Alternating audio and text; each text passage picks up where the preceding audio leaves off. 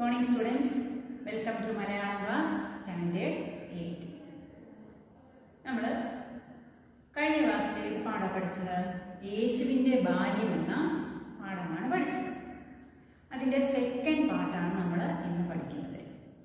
യേശുവിന്റെ ബാല്യം എന്ന പാഠത്തിൽ നമ്മൾ എന്താണ് പഠിച്ചത് ആ യേശു കൊച്ചു കുട്ടിയായിരുന്നപ്പോൾ യേശു നാല് വയസ്സുള്ളപ്പോൾ യേശു അച്ഛനെയും അമ്മയും ഒക്കെ സഹായിച്ചിരുന്നു അതുപോലെ പിന്നെ ആറേഴ് വയസ്സായപ്പോൾ യേശു എന്താണ് കൂട്ടുകാരുമൊത്ത് കളിക്കുകയും മരത്തിൽ കയറുകയും ഒക്കെ ചെയ്തിരുന്നു. പിന്നെ നല്ല ചുണയും മിടുക്കനായിരുന്നു യേശു അല്ലേ? എപ്പോഴും ഇങ്ങനെ ആലോചിച്ചിരിക്കുകയായിരുന്നു. മറ്റു കുട്ടികളിൽ നിന്ന് വ്യത്യസ്തമായിട്ട് എപ്പോഴും ആലോചനയിൽ മുഴുകിയിരിക്കുക പതിവായിരുന്നു ഓക്കെ അവിടെ വരെയാണ് നമ്മൾ പഠിച്ചത് ഇനി നമ്മൾ അതിന്റെ സെക്കൻഡ് പാർട്ടാണ് പഠിക്കാൻ പോകുന്നത് അതായത് യേശുവിന്റെ രൂപം എങ്ങനെയുള്ളതായിരുന്നു എന്നും യേശുവിന്റെ വിദ്യാഭ്യാസത്തെക്കുറിച്ചും പിന്നെ യേശുവിന്റെ യേശുവും ജോസഫും കൂടെ മുന്നിലേക്ക് യാത്ര തിരിക്കുന്നതുമാണ് നമ്മൾ ഇന്ന് പഠിക്കാൻ പോകുന്നത്. ഓക്കെ അപ്പൊ എല്ലാവരും പുസ്തകം എടുത്തേ. ഓക്കെ അപ്പം രാത്രി ഭക്ഷണം കൊടുത്ത് മറിയ മകനെ കൊണ്ടുപോയി കിടത്തും. അപ്പം എന്താണ്?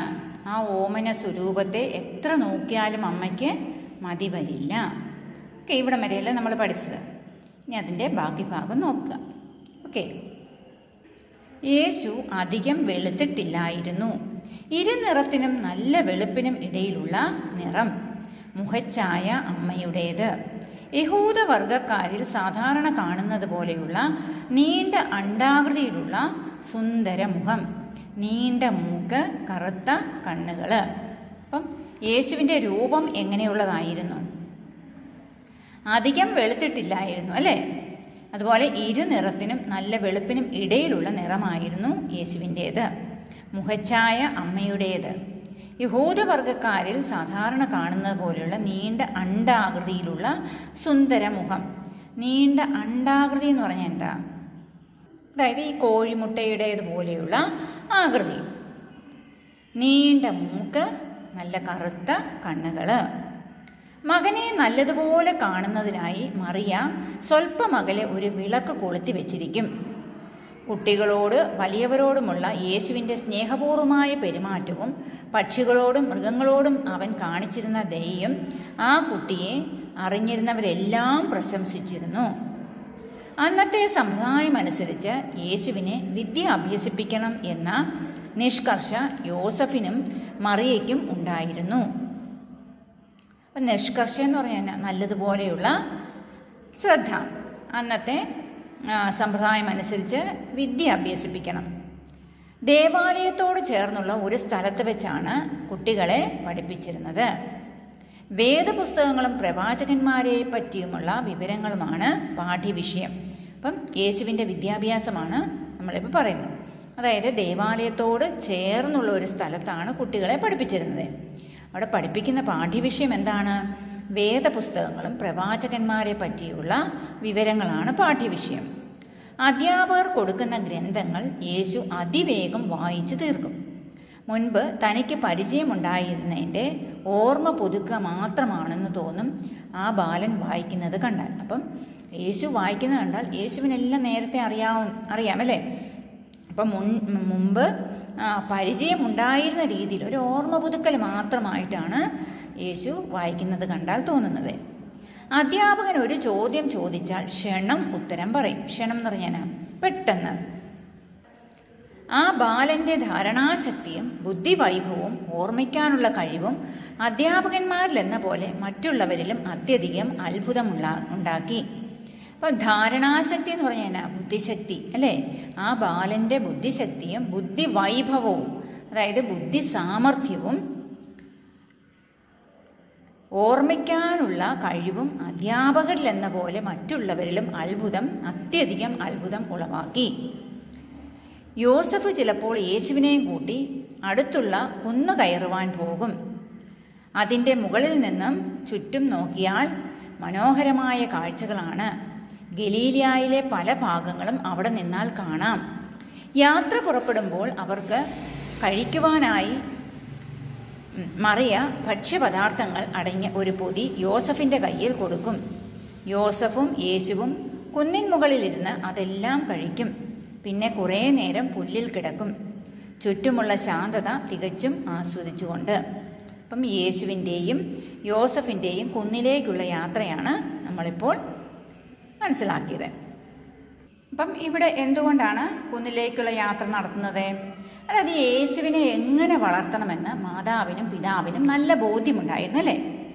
അപ്പം യേശുവിന്റെ ജീവിത രീതികളും സ്വഭാവ സംസ്കരണവും ഒക്കെ പുഷ്ടിപ്പെടുത്തുന്നതിന് യാത്രയും മറ്റു ആവശ്യം ആണ് എന്ന് യോസഫ് കരുതി. അതുകൊണ്ട് യോസഫ് ചിലപ്പോൾ യേശുവിനെയും കൂട്ടി അടുത്തുള്ള കുന്ന് കയറാനായിട്ട് പോകും. അതിന്റെ മുകളിൽ നിന്നും ചുറ്റും നോക്കിയാൽ മനോഹരമായ കാഴ്ചകളാണ്. ഗലീലിയായിലെ പല ഭാഗങ്ങളും അവിടെ നിന്നാൽ കാണാം. ഓക്കെ യാത്ര പുറപ്പെടുമ്പോൾ അവർക്ക് കഴിക്കാനായിട്ട് മറിയ ഭക്ഷ്യപദാർത്ഥങ്ങൾ അടങ്ങിയ ഒരു പൊതി യോസഫിന്റെ കയ്യിൽ കൊടുക്കും. എന്നിട്ട് യോസഫും യേശുവും കുന്നിന്റെ മുകളിലിരുന്ന് അതെല്ലാം കഴിക്കും. പിന്നെ കുറേ നേരം പുള്ളിക്കിടക്കും. ചുറ്റുമുള്ള ശാന്തതയൊക്കെ ആസ്വദിച്ചുകൊണ്ടുള്ള ആ കിടപ്പ് യേശുവിന് വളരെ ഇഷ്ടമായിരുന്നു. വിദ്യാലയത്തിലെ പഠിപ്പിന് പുറമെ വീട്ടിൽ വെച്ചും യോസഫും മറിയയും മകന് അറിയേണ്ട വിഷയങ്ങൾ പറഞ്ഞു കൊടുക്കും. എങ്ങനെയാണ് കുട്ടിയെ വളർത്തിക്കൊണ്ടു വരേണ്ടതെന്ന് തങ്ങൾക്ക് നിർദ്ദേശം തരുവാൻ അവർ ദൈവത്തോട് പ്രാർത്ഥിക്കും. മകനെ വേദം പഠിപ്പിച്ചതുകൊണ്ട് മാത്രം അവൻ തൃപ്തി അവർ തൃപ്തിപ്പെട്ടില്ല. പഠിപ്പിലെന്ന പോലെ യേശുവിന്റെ നടപ്പിലും അവർ ശ്രദ്ധിച്ചിരുന്നു. ഇന്നത് ചെയ്യണം ഇന്നത് ചെയ്യാൻ പാടില്ല എന്ന ബോധം ആ ബാലന് ഉണ്ടാക്കുന്നതിന് ഉണ്ടാക്കുന്നതിന്. യേശുവിനെ വേണ്ട പോലെ വിദ്യ അഭ്യസിക്കുന്നതിൽ പാവനമായ ഒരു ബാധ്യതയാണ് തങ്ങൾക്കുള്ളത് എന്ന വിചാരം യോസഫിനെയും മറിയേയും വിട്ടുപിരിഞ്ഞില്ല. ഓക്കെ അപ്പം യേശുവിനെ വേണ്ട പോലെ വിദ്യ അഭ്യസിക്കുന്നതിൽ പാവനം എന്ന് പറയുന്ന പരിശുദ്ധമായ ഒരു ബാധ്യതയാണ് തങ്ങൾക്കുള്ളത് എന്ന വിചാരം ജോസഫിനെയും മറിയേയും വിട്ടുപിരിഞ്ഞില്ല. ഓക്കെ ഇപ്പോൾ ഒരു ദിവസം യോസഫും മറിയയും കിടക്കുവാൻ പോകുമ്പോൾ ഉറങ്ങിക്കിടക്കുകയായിരുന്ന മകനെ നോക്കി യോസഫ് മറിയയോട് പറഞ്ഞു യേശുവിനെ പറ്റി വിചാരിക്കുമ്പോൾ എന്താണ് ചെയ്യേണ്ടതെന്നറിയാതെ ഞാൻ കുഴങ്ങുകയാണ്. ഇപ്പോൾ തന്നെ ഈ ചെറിയ പട്ടണത്തിൽ നിന്നും എത്രയോ ദൂരെ എത്തിയിരിക്കുന്നു അവന്റെ ദൃഷ്ടി. ഓക്കെ അപ്പം ഉറങ്ങിക്കിടക്കുകയായിരുന്ന മകനെ നോക്കി യോസഫ് മറിയോട് പറഞ്ഞ എന്താണ്? യേശുവിനെ പറ്റി വിചാരിക്കുമ്പോൾ എന്താണ് ചെയ്യേണ്ടതെന്നറിയാതെ ഞാൻ കുഴങ്ങുകയാണ്. ഇപ്പോൾ തന്നെ ഈ ചെറിയ പട്ടണത്തിൽ നിന്നും എത്രയോ ദൂരം എത്തിയിരിക്കുന്നു അവന്റെ ദൃഷ്ടി. കുടുംബത്തെയും വംശത്തെയും സ്നേഹിക്കേണ്ടതിന്റെ ആവശ്യകതയെപ്പറ്റി യോസഫ് യേശുവിനെ ഉപദേശിക്കാറുണ്ടായിരുന്നു. എന്നാൽ യേശുവിന്റെ സ്നേഹം അതിനെല്ലാം അപ്പുറം കടന്നിരുന്നു എന്ന് യോസഫിന് തോന്നി. ആ വിചാരങ്ങളായിരുന്നു യേശുവിന്റെ ദൃഷ്ടി എത്രയോ ദൂരം എത്തിയിരിക്കുന്നുവെന്ന തോന്നൽ യോസഫിനുണ്ടാക്കിയത്. ഓക്കെ അപ്പം യോസഫിനുണ്ടായ അത്ഭുതം എന്താണെന്ന് ചോദിച്ചാൽ കുടുംബത്തെയും വംശത്തെയും സ്നേഹിക്കേണ്ടതിന്റെ ആവശ്യകതയെക്കുറിച്ച് യോസഫ് യേശുവിന് ഉപദേശിക്കാറുണ്ടായിരുന്നു അല്ലേ? എന്നാൽ യോസഫിന്റെ യേശുവിന്റെ സ്നേഹം അതിനപ്പുറം കടന്നിരിക്കുന്നുവെന്ന് യോസഫിന് തോന്നി. അത്തരം വിചാരങ്ങളായിരുന്നു യേശുവിന്റെ ദൃഷ്ടി വളരെ ദൂരെ എത്തിയിരിക്കുന്നുവെന്ന് യോസഫിന്റെ തോന്നലിന് കാരണം. ഓക്കെ. അമ്മയെയും അച്ഛനെയും അടുത്ത ബന്ധുക്കളെയും യേശുവിന് വലിയ ഇഷ്ടമായിരുന്നു.